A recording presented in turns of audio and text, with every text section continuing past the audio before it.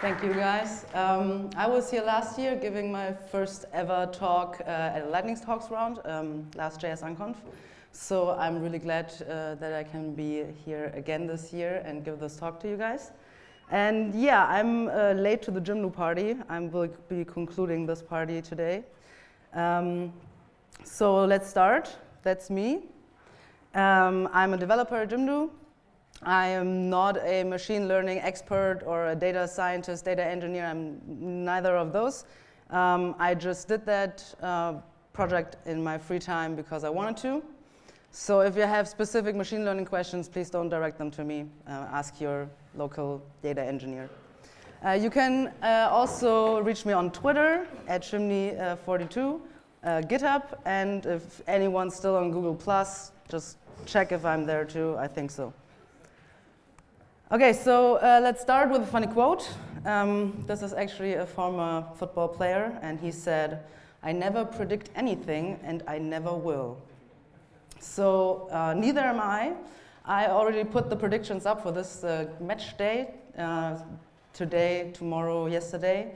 Um, I put them uh, on the backside of this wall, I think, and uh, I will be updating the results as they come in. I think the game will start in 15 minutes, so um, let's see how well um, my neural network actually does things. Okay, so uh, first things first, uh, we have to understand neural networks, and this will conclude some math, but I hope that most of you will get it, because it's really not that hard. But uh, let's look at neurons first. Those are naturally occurring uh, neurons too. And the snaky fuzzy stuff to the left are dendrites. Dendrites receive the input, then the neuron does stuff with it, sends a signal to the next dendrite via the axon, and then the whole thing is done again. And the very interesting thing about uh, neurons is that neurons who do, uh, which do one thing can learn to do another thing. So let's say those are neurons for seeing, and then the person uh, gets blind for some reason. So those neurons aren't useless now because they can learn to hear, for example and they will just uh, get some input, do some stuff, and then just uh, send another signal to the next neuron, and it doesn't matter really what the signal is. So the thing, uh, how, it, uh, how neurons do that is by experience. So they, they get a lot of input over time, and they, there's a lot of repetition and iteration, and by, by that, neurons learn to see the pattern or the logic um, behind things. So what neurons do need is a variety of training, examples, and that's the most important thing. So uh, let's look at an artificial network. That is uh, a simple multi-layer network. We have three layers here. The first is the input layer. Um, that's where we receive our input. Then we have a hidden layer. Um, I just chose to have one hidden layer. It doesn't really matter. Uh, you can just um, try it out, what works for you and then we have an output layer. So in, in this graph, the uh, arrows would be our dendrites or, or axons, and the circles would be our neurons. Okay, so let's look at it more closely. So in the first layer, we get our inputs, like I said. Uh, we call those X for the purpose of things. So we have three different inputs, three different features, X1 to X3. And um, if we look at the first neuron of the first layer, uh, we see that it uh, puts out three different values from the neuron. Um, so this is the math part I was talking about. I put a legend uh, to the side so you remember what I'm talking about. So x1 would be our input, and theta 111 is just a weight. So theta in this case is a matrix, if you don't know what a matrix is, just imagine it as being some kind of JavaScript object, and the 111 would be the keys to access the value behind it. So I could just say x1 times a, or whatever, po pony, unicorn. Um, and so then we send another signal, x1 times another weight, and then another. And the way that we choose theta here, the weight, uh, is actually that for our initial run, for the first iteration, we just choose it randomly. We just, we don't know what the weight would be and we just uh, initiate it randomly. Okay, so if we look at the first neuron, in the hidden layer, and the second layer, then we see we get three different features multiplied with three different weights. So we get x1 times something, x2 times something, and x3 times something. So this neuron actually gets all the input with some weight, and then it just sums it all up. So it just adds the three input values, and then it does something activate. There's an, an activation function, and that is the magic that's happening. So there are different activation functions. I, I won't go into them because that takes a lot of math. Um, important to know is just that we sum up all the input um, and then do stuff with it and then get to our new value, which would be A12. But again, this is just a value in a matrix, doesn't really matter uh, what it says. So the same thing actually also happens in our last layer, in our output layer. We receive our input, so we get now have A1, 2, A2, 2, and A3, 2. And then again, some thetas, again, initially random, uh, randomly initialized. And then we get our last value, A13, which is just the sum of everything we have, and then we activate it with something. Okay, so what we have in the end is we have values, we do stuff with it, get new values, do, a, do stuff again, then get a third value. That is the result of our hypothesis. So our hypothesis is kind of like the model that we try to uh, build to represent the logic or the pattern we're trying to learn. And so what h theta of x actually means is like you put x's in, like x1, x2, x3 would be three um, values in a vector or an array if you want. And then so the function says, this is the logic that I think it's going to be, and then we get our result. This would be a numerical value probably, and it's ideally really close to the reality, and the reality is called y in this case. Okay, so um, there was really a lot, so let's pause with a funny quote. This is by George E.P. Box, and he says, All models are wrong, but some of them are useful.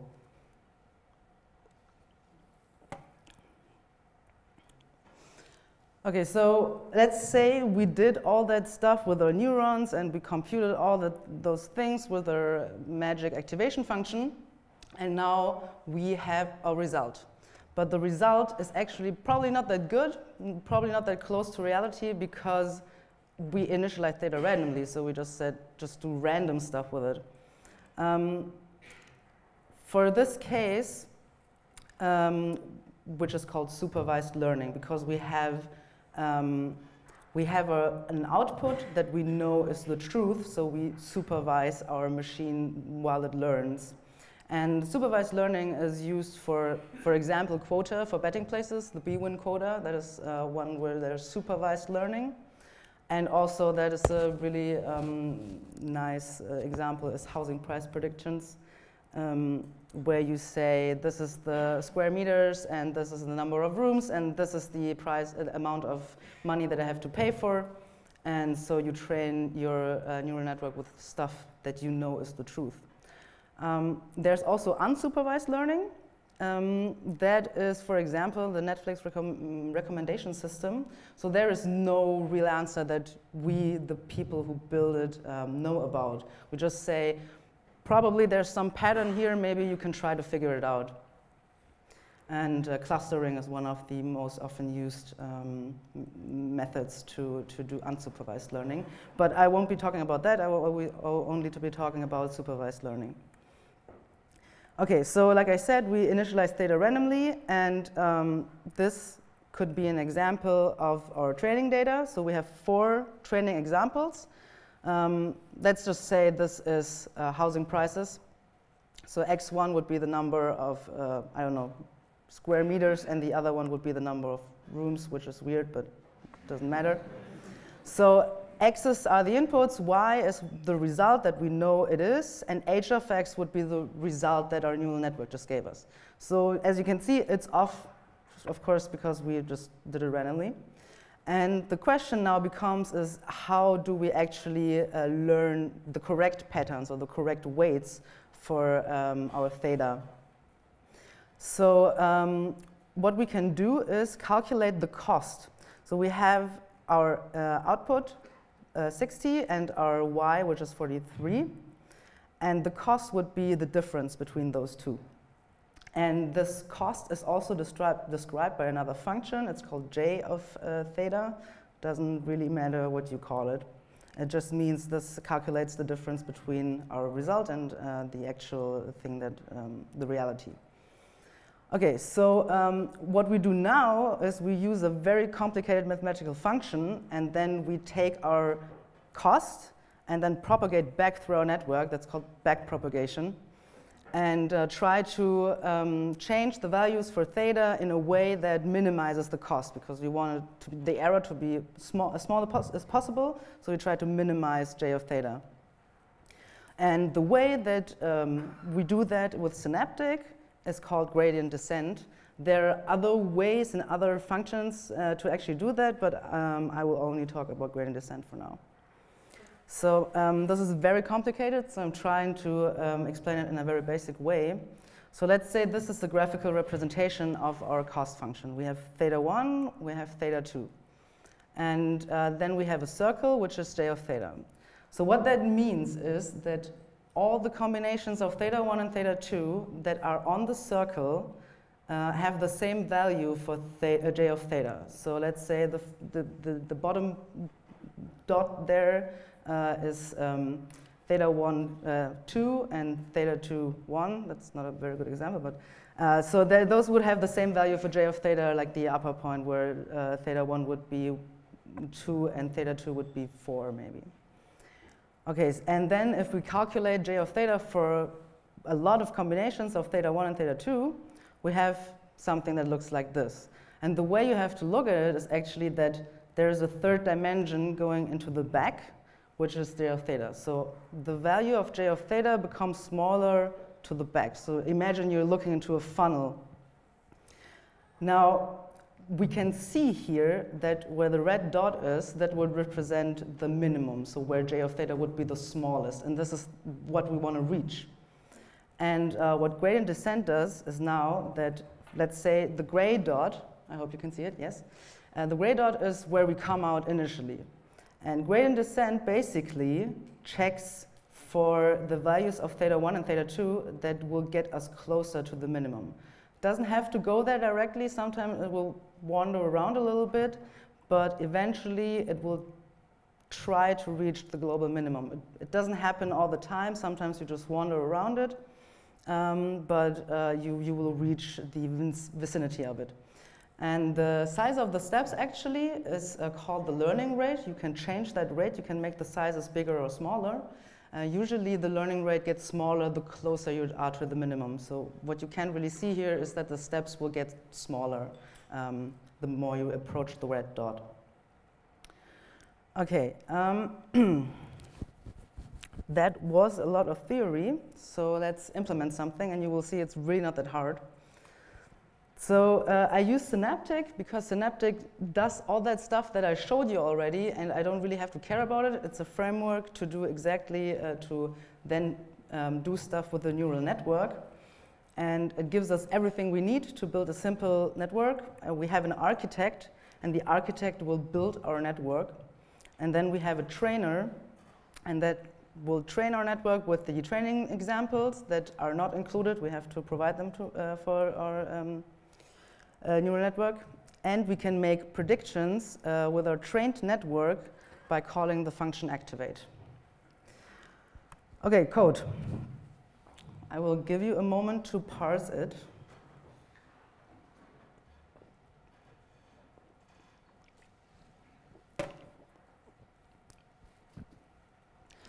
So um, I have two objects there. Uh, one is a historic match. It has an input array.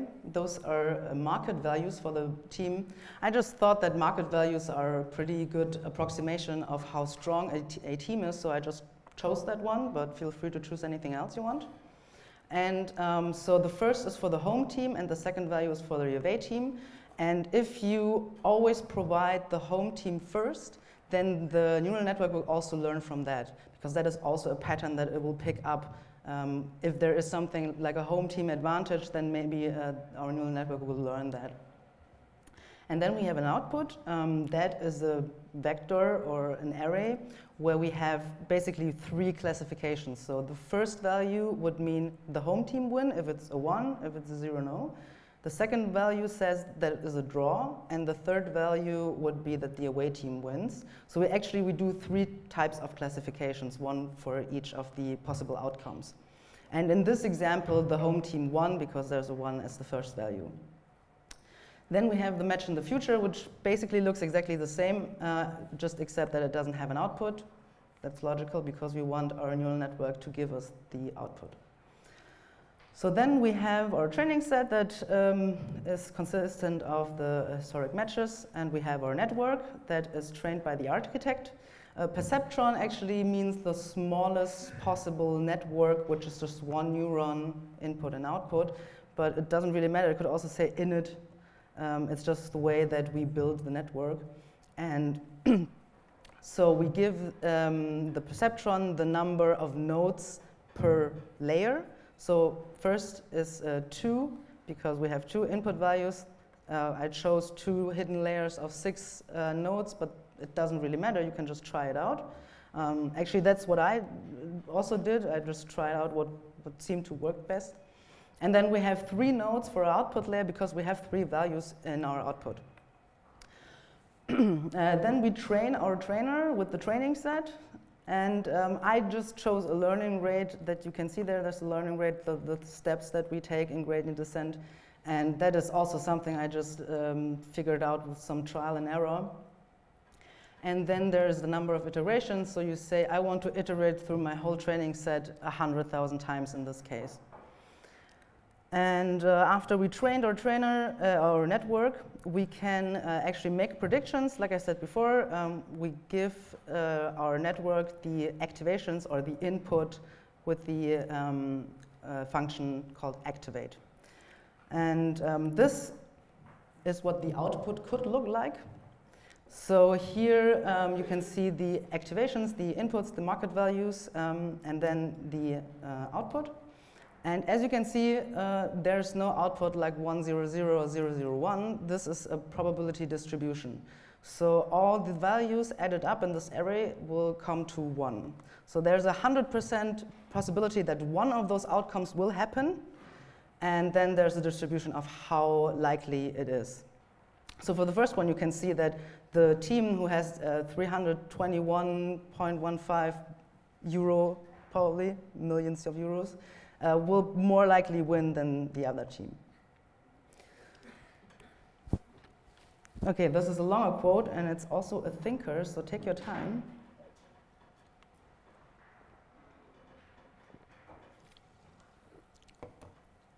Everyone got that?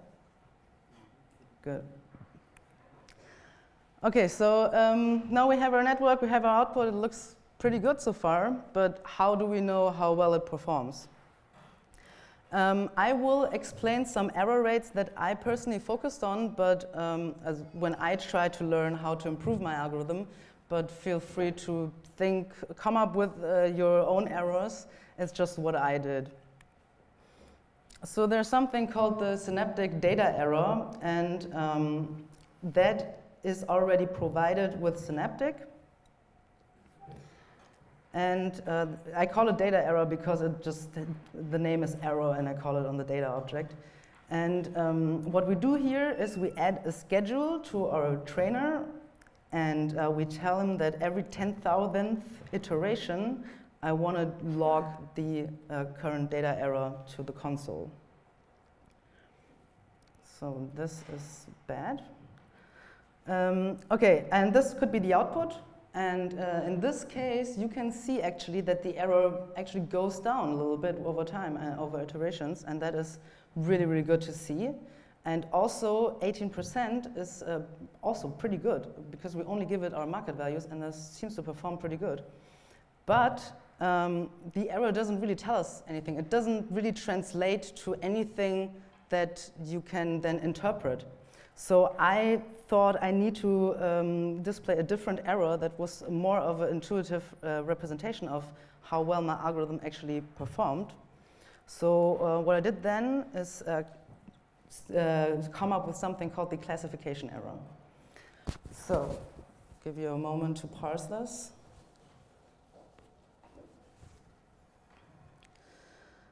Okay, what I'm doing here is in our do function, uh, for every 10,000th iteration, I want to actually make a prediction. Because now I only, first I only have the probabilities, but I don't actually say, so the home team's gonna win. So this is what I'm doing here. Uh, the predict from probability function that you can see actually just looks for the key where the value is the biggest in the array. So um, if the home team won, this would be zero. If it was a draw, it would be one. And if it, uh, the away team won, it would be two. And then I just um, uh, look, uh, just make the prediction actually, and then do the same thing, and then compare whether the prediction um, actually met the expectation. Count up my errors, and then divide it uh, through the length of the training set, and what we actually see here is that the error rate is much higher with 45%. And this is actually what I had suspected, and I will probably tell you later why. Um, also, you can see that it doesn't continuously go down. It just seems to hover around 44%. But I still thought this really wasn't um, telling me how well my algorithm, per algorithm performs because I make those predictions with a training set. So I already know about um, the data that I get in, and then I make a prediction from it. it. Doesn't tell me anything about how well my algorithm performs for future predictions. So then I came up with a thing called the cross-validation error.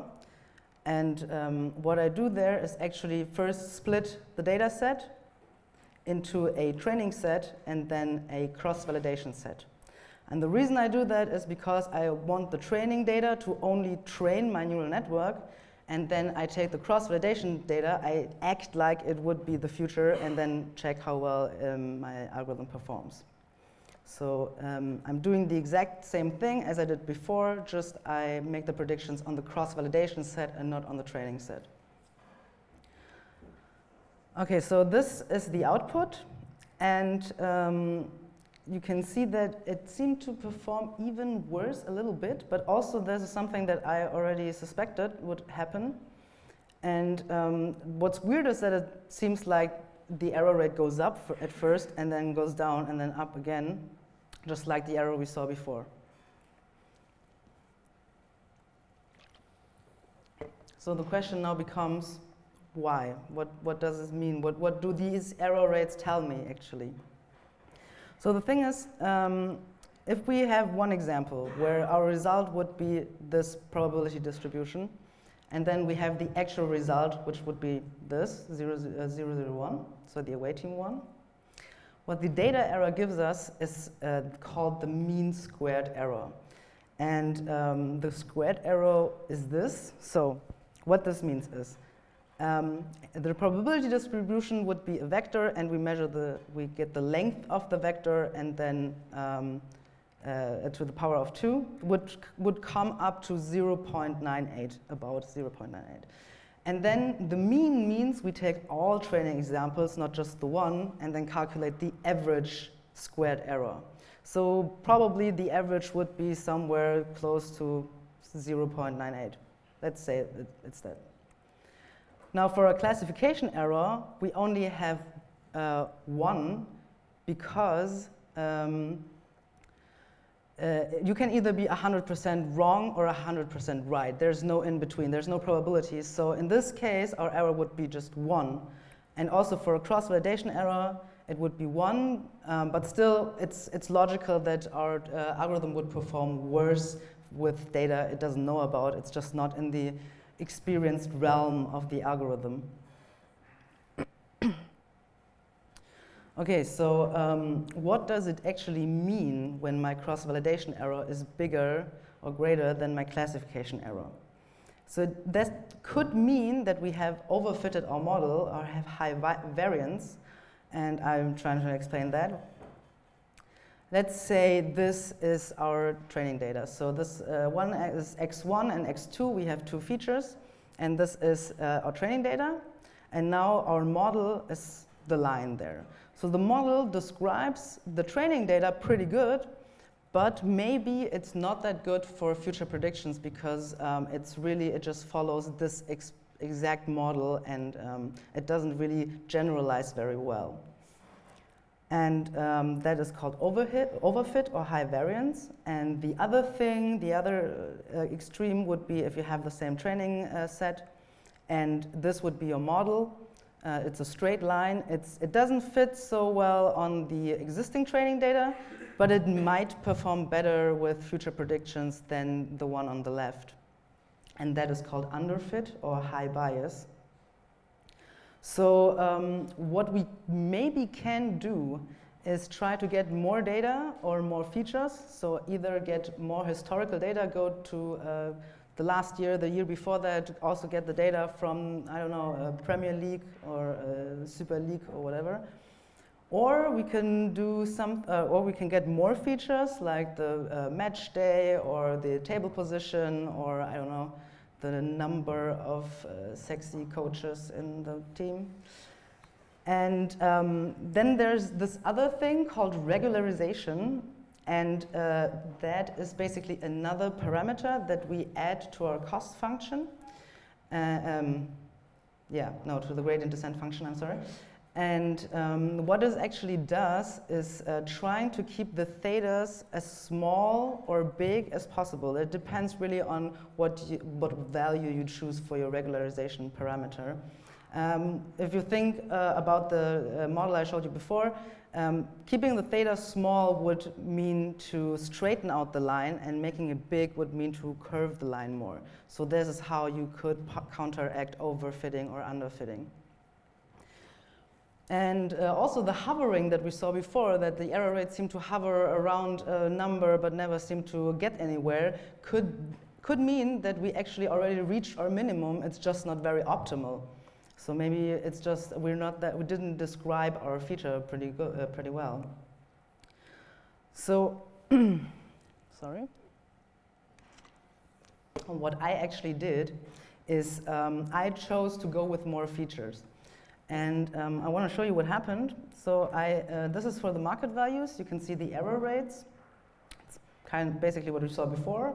And now I have two, uh, five features um, match day, the market values, and then the uh, table positions. And um, now we can try to interpret. There seems to be something that is going that is a little bit better. Other things seem to be a little bit worse.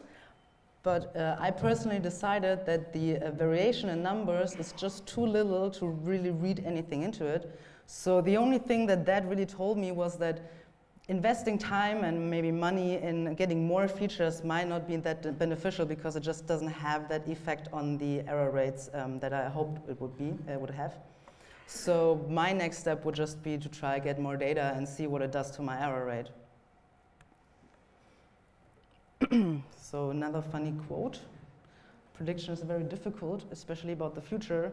And as you saw, not even for the future, just for the faked future, just for the present, it's not that uh, easy at all. Uh, yeah. Okay, so now you hopefully know how neural networks do their magic and how to implement a machine learning algorithm with Synaptic, and you don't even have to do all the math stuff, just go and do stuff, then you might have learned how to check the performance of your algorithm and how to interpret your error rates. So before I said I would make a prediction for this match day, and uh, I did.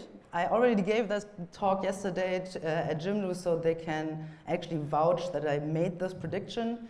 And uh, I got the first game right already. That's awesome. Um, like I said, I had the predictions uh, over there, and you can check for yourself how well my algorithm actually performs.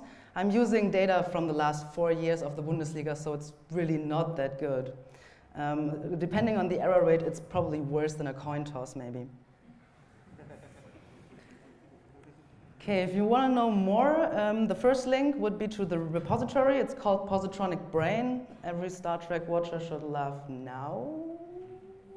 Okay, no one? Fine. Um, the second link is to the slides. I will also tweet them and then you can just check it out. Sorry for the slide mess up, I don't know what happened there.